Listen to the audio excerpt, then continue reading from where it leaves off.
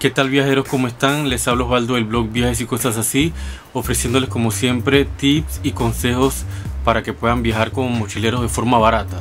En esta ocasión les quiero hablar sobre una duda que me hizo un lector en Facebook y la pregunta es ¿cómo se puede hacer amigos durante un viaje?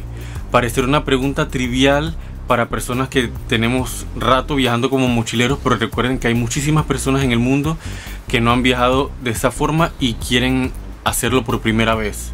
Entonces en este video les quiero mencionar algunos consejos básicos y elementales, más que todo es un poco de sentido común, eh, para que la próxima vez que salgas al extranjero tengas ya una noción clara de qué es lo que tienes que hacer a la hora de hacer amigos. Así que empecemos. Como primer punto, tienes que saber dar el primer paso. No te quedes sentado esperando que las demás personas se te acerquen. Si ellos no lo hacen, acércateles tú y no tengas pena. Muchas personas no se les ve sociales, pero no porque no lo sean. Simplemente porque como en muchos casos son personas algo reservadas o tímidas. Un sencillo saludo, un hola, ¿cómo estás? Por ejemplo, funciona a la perfección y sirve para romper el hielo y entablar una conversación. Lo siguiente es alojarte en un hostal. En estos lugares te vas a topar con muchísima gente dispuesta a socializar contigo, ya sea en el área social, el bar, la recepción, los dormitorios, la lavandería, la cocina, en fin.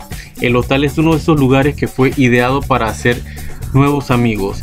Este tipo de alojamiento se caracteriza por su ambiente agradable y festivo, lo cual es más que ideal para el inicio de todo tipo de conversación con gente extranjera. El tercer punto es eliminar todo tipo de prejuicio de tu cabeza.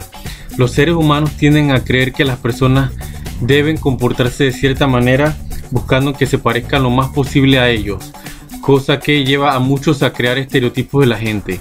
Las personas que tú menos piensas pueden llegar a convertirse en tus amigos viajeros, por lo que al momento de hacer amigos es indispensable que abras tu mente y dejes los prejuicios a un lado. El cuarto punto es tomar los tours que ofrecen los hostales. ¿De qué forma esto te puede ayudar a conocer gente? Es simple. Muchos hostales promueven y organizan tours que se llevan a cabo con un mínimo de personas inscritas. La mayoría de estas personas están, al igual que tú, buscando conocer nuevas amistades.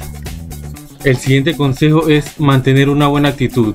Ten una mentalidad positiva y te aseguro que te va a ir bien. Sé que suena cliché decir esto, pero imagínate conocer a alguien y que de repente esa persona te empieza a contar cada uno de sus problemas todo el tiempo, de lo dura que es la vida, de lo feo que lo miró eh, alguien hace un par de horas atrás. Entonces a nadie le gusta estar con alguien que es demasiado negativo en su hablar, por lo que muéstrate divertido y con una actitud alegre. El punto número 6 consiste en salir de noche y esto va a depender de cada persona ya que no todos son de irse de parranda o de fiesta, sino que prefieren irse a dormir temprano. Pero en caso contrario no pierdes nada con salir del hostal de noche y explorar la vida nocturna de un lugar. Cuando viajas, especialmente en época de verano, es normal encontrar las calles repletas de personas y todo el mundo sale a comer o a beber unos tragos, lo cual es una buena oportunidad para interactuar con las personas. Y como último punto voy a mencionar a la red social Couchsurfing.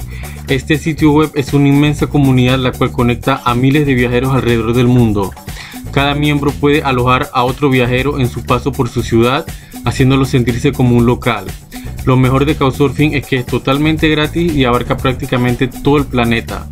Couchsurfing te permite estar en contacto con una gran parte de las personas que llegas a conocer, lo cual es bueno para mantener la amistad. Como habrán visto en los consejos que les acabo de dar, hacer amigos a la hora de viajar no es nada complicado, no tiene nada del otro mundo. Incluso hasta diría que es más fácil que hacer amigos en tu propio país.